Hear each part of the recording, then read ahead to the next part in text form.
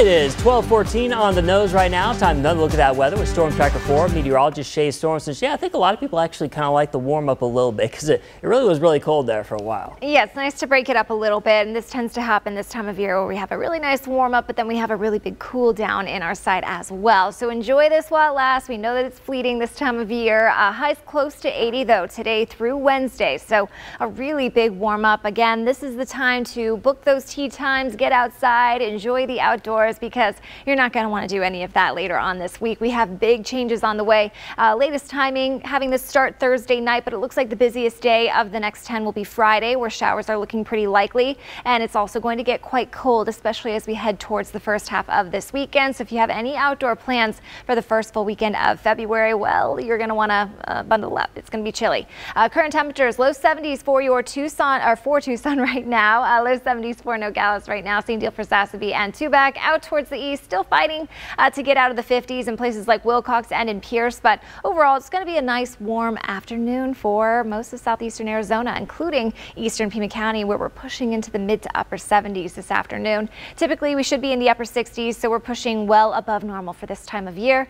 Low 70s for Corona de, Tucson and Vail, and even tonight, very mild. So for tomorrow morning, expect pretty much more of the same. You might need that jacket as you head out the door, but not those really thick coats, the gloves or the scarves. Not going to be that cold cold. However, to the south and east, a little cool today, but above normal in the 60s. And then tonight, most of you will be above freezing, but it's still going to be cold tomorrow morning for places like Benson and Willcox, especially where we're just above freezing. Douglas dropping down to about 38, so not as cold there, but still chilly enough that you'll want those thicker coats in Cochise County.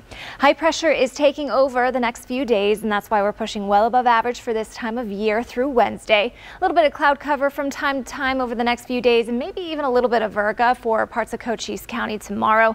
Uh, but the rest of us will stay on the dry side and we'll see sunshine on Wednesday. But high pressure heads eastward and that's going to allow for moisture to roll through all thanks to the system near the Pacific Northwest. And we're expecting this rainfall to really start to get going Thursday night. Looks like Friday will be the busiest day again with the best coverage, widespread rainfall. And Friday is our next potential Storm Tracker 4 alert day.